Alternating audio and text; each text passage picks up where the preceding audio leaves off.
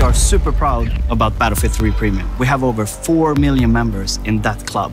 But now, we're taking it to the next level. Well, we really wanted Premium to be like this exciting and exclusive club for anyone who's ever played and loved Battlefield. As a gamer myself, I know how exciting it can be to get your hands on content early, and that's the experience that we really want to deliver with Premium. Because we're talking about content from day one with new updates every single week. We're going to get early access to all the new game modes, weapons, vehicles, and the expansion packs. In China Rising, players fight for dominance across the majestic Chinese mainland. Revisit four fan favorite Battlefield 3 maps in Second Assault, now revolutionized with the power of Frostbite 3. Experience dynamic ocean combat and naval strike as the Chinese Armada takes the fight to the sea, while the US strikes back with all out urban warfare in Dragon's Teeth.